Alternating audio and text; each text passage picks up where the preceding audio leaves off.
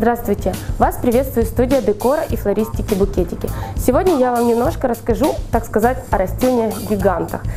От маленьких растений есть, соответственно, и большие. Чаще их используют, конечно же, в офисах, но если вы поставите такое растение в квартиру, оно будет радовать вас еще больше, чем маленькое.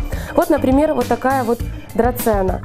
Ухода практически не требует, всего лишь полив и опрыскивание. Любое место в квартире, кроме э, места возле батареи, ей подойдет.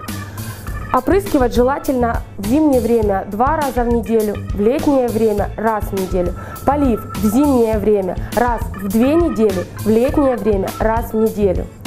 Что касаемо вот таких вот фикусов. Фикусы разнообразные. Вот этот фикус Даниэль, он не любит жаркого воздуха, поэтому его лучше поставить где-то при входе.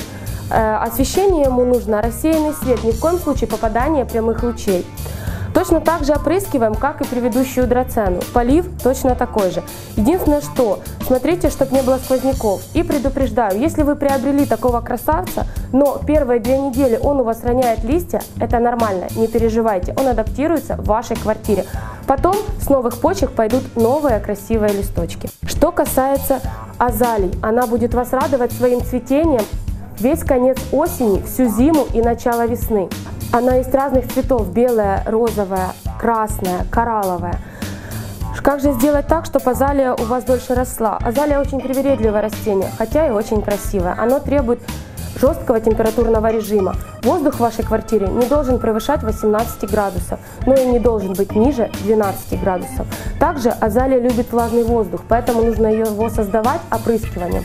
Желательно, если у вас в квартире включена батарея, хотя бы два раза в день.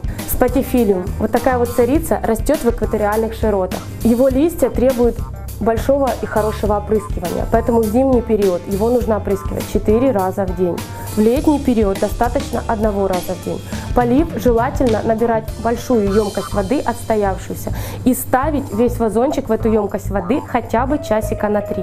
На этом все. Спасибо большое. В следующий раз познакомлю вас с чем-то еще.